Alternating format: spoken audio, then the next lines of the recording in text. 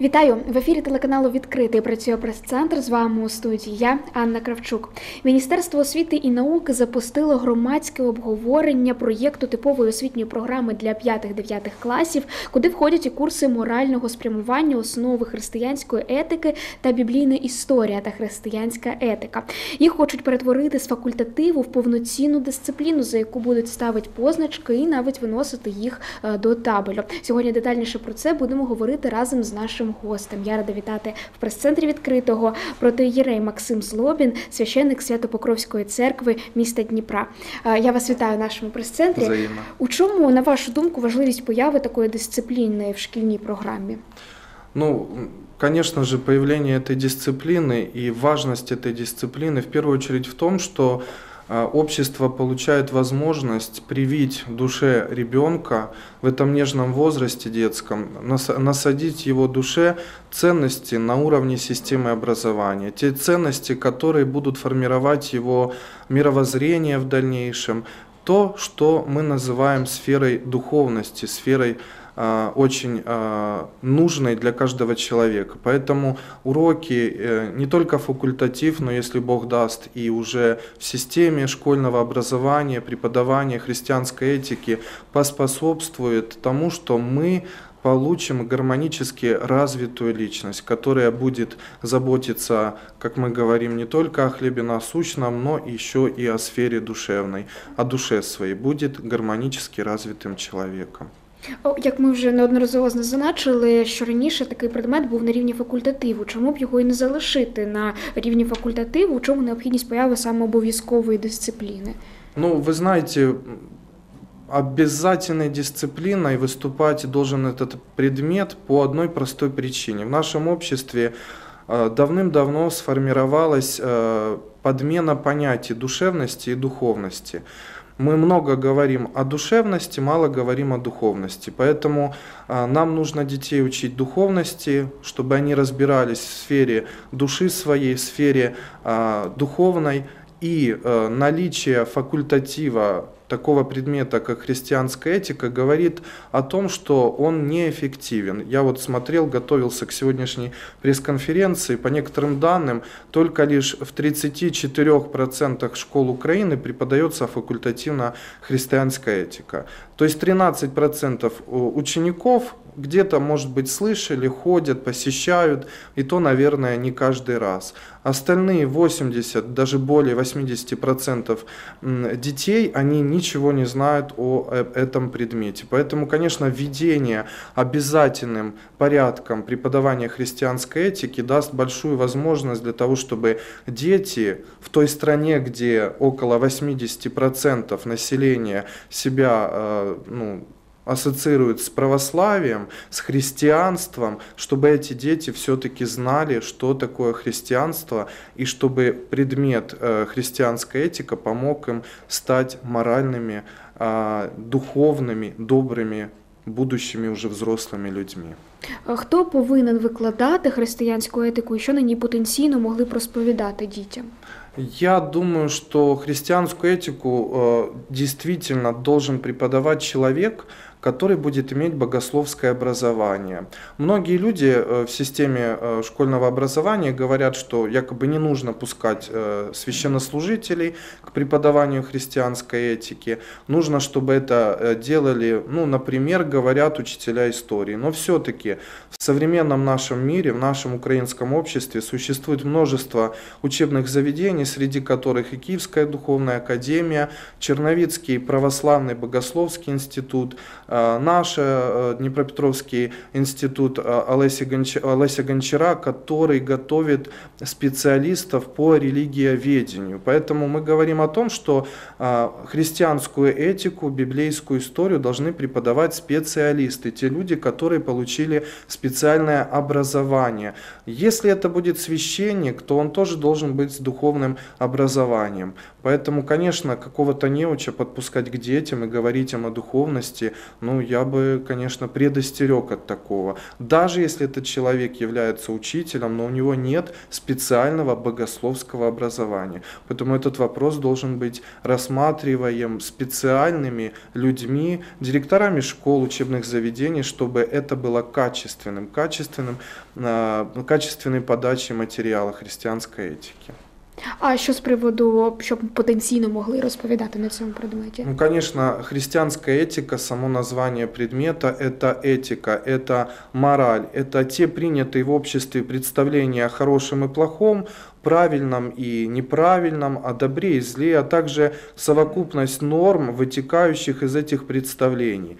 Мораль, нравственность на основе э, двухтысячелетнего опыта христианства. Все то, что является общепринятым для нас – для украинцев, для нашей страны. Поэтому это будет очень нужным для наших детей. Век духовного вакуума, когда люди много говорят о проблемах и не знают выхода из этих ситуаций, вот эта духовно-душевная платформа, она поможет будущему взрослому человеку все-таки держаться моральных, этических принципов на основе общепринятой нашей религии христианства. Хотя, конечно, мы здесь понимаем, что мы живем а, в государстве, государстве, которое исповедует а, разделение между религией и государственностью, светскость у нас принята. Поэтому здесь нужно быть очень-очень последовательным, очень корректным, очень таким, знаете, вот, ну, нежным в этих отношениях, чтобы не затронуть чувства и тех, и этих людей.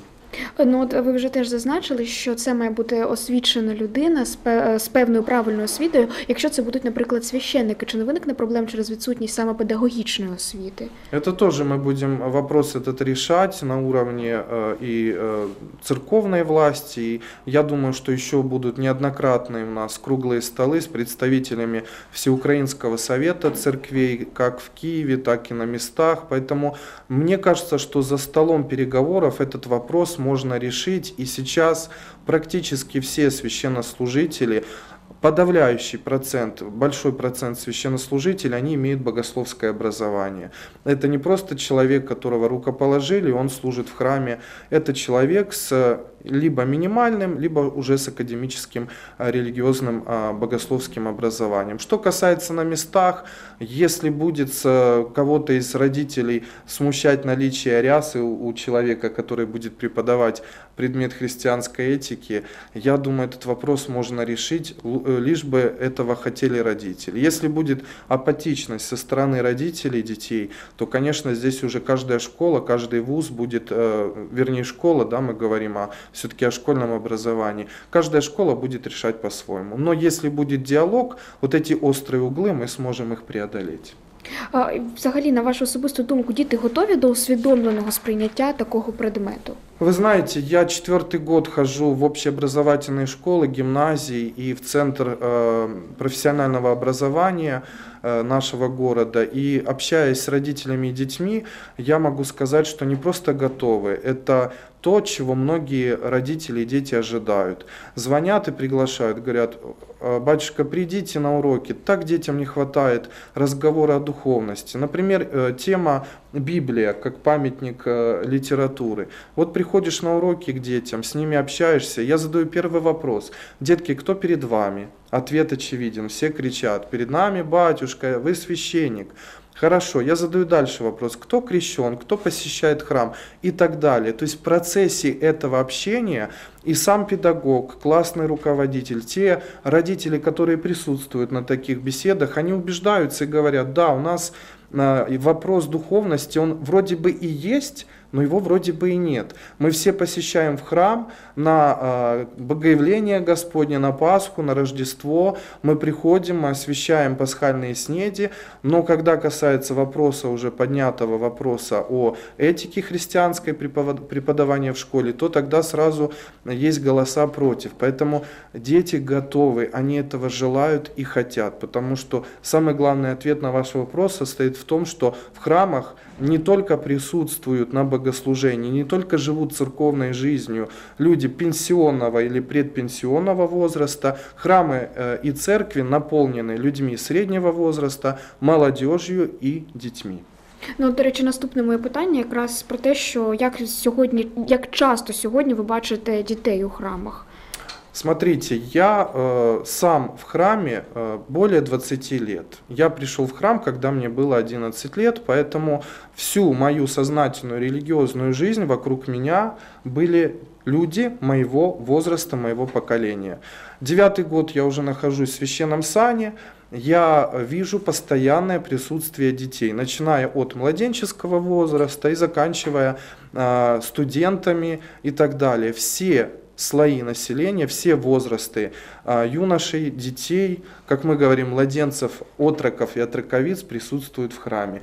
Дети в храм ходят, они тянутся к Богу, им интересна церковная жизнь, они участвуют а, в церковных хоровых коллективах, они прислуживают в храме, они э, тянутся к Богу. Многие дети, как и тогда, когда я был еще в школьном возрасте, так и сегодня сознательно поступают в духовные учебные заведения. Вот на моем приходе сейчас порядка троих человек, это взрослые люди, в том числе и выпускник общеобразовательной школы, получают богословское образование в разных уголках нашей страны. Один в Полтаве, другой на данном э, этапе сейчас находится в Черниговском духовном училище. І все ж таки сьогодні, ну якщо як мені здається, більшість дітей, особливо підліткового віку, досить е, апатично ставляться до релігії. Як ви вважаєте, у чому причина цього? Вот как раз причина в том, что в школах нет систематического преподавания христианской этики. В том, что вторая причина в том, что родители, покрестив своих детей, все-таки не ведут полноценный а, церковный духовный образ жизни. Нет живой веры. Э, Часто люди тянутся к Богу, чувствуют свою принадлежность к Богу, к церкви, привели, принесли, покрестили и думают, что каким-то, знаете, неведомым для нас образом люди, детки сами будут тянуться к Богу. Нет реальной жизни дома христианской. Человек, ребенок до определенного возраста в таких семьях посещает храм, в период э, подростковой ломки, как мы говорим, начинается переоценка ценностей, ребенок храм а, оставляет, его затягивает мир, а, не только хорошие позитивные моменты, но и негативные, и ребенок перестает посещать в храм. Много таких детей потом приходят уже в сознательном возрасте. Мы их помним, мы их знаем. Проходит 5-10 лет, когда молодой человек сталкивается с какими-то проблемами в жизни, а мы все с вами с ними сталкиваемся, мы э, видим эту стену э, глухую непонимания, злости, агрессии, соперничества. И тогда человек вспоминает, ага, я же ходил в храм, я же посещал храм, там было так тепло, уютно и хорошо. И молодой человек возвращается, приходит, иногда даже наклонив голову, смотрит на священника, говорит, батюшка, простите, вот вы меня помните? Мы говорим, конечно, помним. Поэтому вот эта апатичность связана с тем, что в обществе есть духовный вакуум. Мы хорошо знаем обряды, внешнюю сторону христианской жизни, но мы плохо знаем практическую сторону христианской жизни. Мы этому детей не учим. В этом великая проблема. Поэтому все вместе, и церковь, и общество, и система образования, мы сейчас должны очень над этим трудиться. А І все ж таки, от ми говоримо про позитивні моменти. а Якщо говорити про проблеми, які проблеми можуть виникнути з введенням в програму предмету християнська етика? Ну, естественно, мы уже э, частично вспомнили, это то, что мы живем в обществе разделенном, и э, религия, всякая религия не является господствующей или на уровне государства какой-то признанной, мы отделены от государства, система религии. Поэтому, конечно, будет вопрос э, со стороны тех людей, которые себя позиционируют как атеисты, те люди, которые не верят вообще ни в какую религию, не исповедуют никакую религию и не относят себя к числу верующих. Поэтому здесь тоже представителям э, Совета э, Всеукраинского совета церквей, системы образования, представителей других организаций, нужно вместе выработать четкую позицию по поводу того, как поступить нам с людьми, которые не хотят, чтобы их дети изучали предмет христианской этики. Это одна сторона. Вторая сторона все-таки, понимаете, мы выходим на улицу, мы видим наличие церквей, наличие синагог, наличие других молитвенных домов. Религия шествует очень плотно с нами. Мы о ней говорим на уроках э, украинской литературы, мы говорим о ней когда касаемся истории нашего Отечества, нашей Украины. Детки посещают разные экскурсии, проводят эти экскурсии даже из школы. Поэтому просто закрывать глаза и говорить, что этого у нас нет, потому что мы этого не признаем, я считаю это глупым. Поэтому атеисты, дети из неверующих семей, дети из э, представителей других конфессий, даже не христианских, они все-таки должны ну, будет не лишним приобщиться к христианской культуре, потому что э, это наше общее приобретение, двухтысячелетнее, касаясь Украины уже более тысячи э, лет, мы являемся христианами. Поэтому вот эти проблемы несоответствия, несогласия мы должны будем побороть. Я думаю, они будут. Э, общество у нас очень разнообразное, поэтому спокойным тоном, без агрессии, с друг другом садясь за стол переговоров, должны все это обговорить, и чтобы все дети в нашей стране знали, что такое мораль, что такое этика, э, зачем существует на земле церковь, любая церковь, и христианская, и нехристианская организация, и это поможет быть всесторонне развитой личностью. А як ви вважаєте, проблема все ж таки виникне більше з дітьми або з батьками? Я думаю, с родителями, потому что родители многие за, многие против. Детки, у них э, мировосприятие совершенно другое, поэтому они будут э, этот вопрос воспринимать очень спокойно и с интересом. Еще раз обращу ваше внимание на то, что я как священник, который посещает э, общеобразовательные школы, вижу запрос со стороны детей. Дети очень живо участвуют в обсуждении э, христианских норм жизни, морали, десяти заповедей, обсуждения таких праздников, которые общеизвестны. Поэтому это будет со стороны детей только лишь с позитивной стороны восприниматься, введение вот таких вот предметов. А якщо у класі, наприклад, будуть діти іншого віросповідання? Я думаю, что здесь будет не лишним подумать всем нам, в общем, о том, чтобы были уроки введены не только христианской этики, но уроки и другой направленности. О том, чтобы каждая э, религиозная деноминация могла изучать свою веру. И какой-то процент, если людей, родителей детей будет э, за изучение, например, исламской культуры, за изучение любой другой культуры, то я думаю, это будет не проблема, чтобы вместе обсудив, выработать вот э, такую дорожную карту для того, чтобы эти детки тоже могли изучать свою веру, свою традицию, свою религию. Дякую. Можливо, є запитання? А, Тоді підсумовуючи нашу прес-конференцію, чому впровадження предмету християнська етика у школах України е, є потрібним кроком на вашу думку?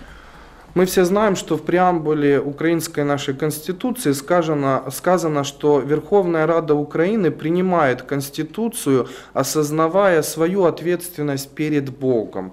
Слово «Бог» вписано в преамбулу нашей украинской конституции. Поэтому мы все понимаем, что без духовности общество рискует потерять свое будущее. Может для кого-то это и громкие слова, но если вспомнить историю, именно духовность, именно вера была созидательной силой нашего народа. Давайте вспомним наших славных казаков наших предков, они все держались веры. И наши люди сейчас говорят о том, нам нужно во что-то верить. Без веры жить мы просто не сможем. Поэтому, а, подводя итог, скажу, чтобы все слои общества, и те, кто за, и те, кто против, возможно, будут, чтобы мы вместе научили своих детей духовности, научили их различать понятие добра и зла. Потому что, к сожалению, сейчас мы наблюдаем, а, что система образования она все-таки отходит от э, принципов воспитания. Мы стараемся воспитывать своих детей все-таки дома, прививать им какие-то свои семейные ценности. Однако без всеобщего воспитания далеко мы не уйдем. Поэтому дай Бог, если будут введены обязательными вот такие вот уроки христианской этики, чтобы они только лишь способствовали добру, воспитанию гармонично развитых наших детей, подростков, наших будущих граждан, Украины, которым строить эту страну, которым жить в этой стране, которым обеспечивать старость своим родителям, родным и близким. Поэтому призываю всех родителей не противиться, а только поддержать быть осознанными христианами, быть добрыми людьми и всячески способствовать тому, чтобы в нашей стране был мир, тишина, чтобы была а, вот такая вот нота добра во всех сферах общества, и в школе, и в институте, и на телеканалах, везде, чтобы мы все-таки тянулись больше к добру. Зла в нашей жизни, к сожалению, и так хватает. Дякую вам сьогодні за нашу прес-конференцію.